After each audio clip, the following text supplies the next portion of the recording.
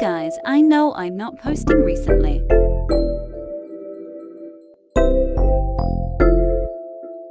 But I promise you all to be posting soon.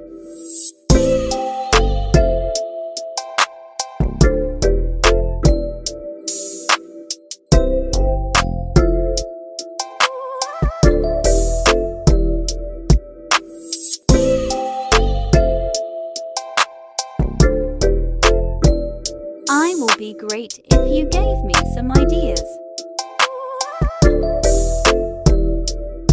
I'm waiting for you all.